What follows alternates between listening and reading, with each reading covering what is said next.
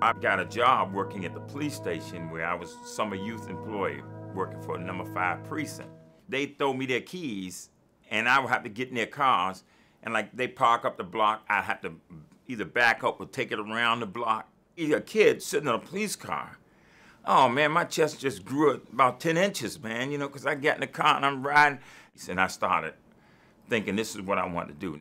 I became supervisor of Group 42 for the Drug Enforcement Administration. They cross-designated me. I had to get sworn in as a special agent for DEA. So now I'm doing, I'm doing double dual tasks. I'm a U.S. Marshal and I'm a special agent for DEA.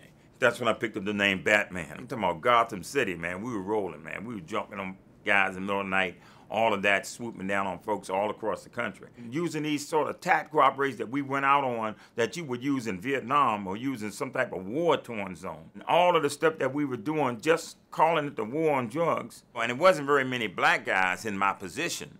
So when I would go into the war room where we were setting up all of our drug and gun interdiction task forces, determining what cities where we're going to hit, I would notice that most of the time was always appeared to be urban areas. And that's when I asked the question, well, don't they sell, sell drugs out Potomac and Springfield and, and places like that? Or maybe y'all think they don't.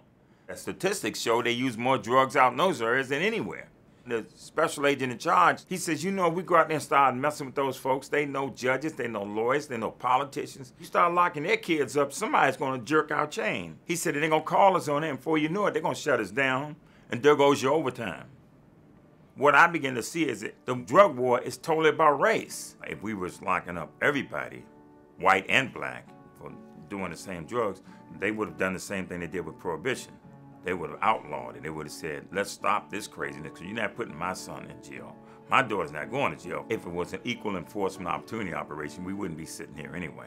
It's all about fairness, man, and understanding how would I want to be treated whether I'm on that one end or the other end, how would I want to be treated if everything was done equally?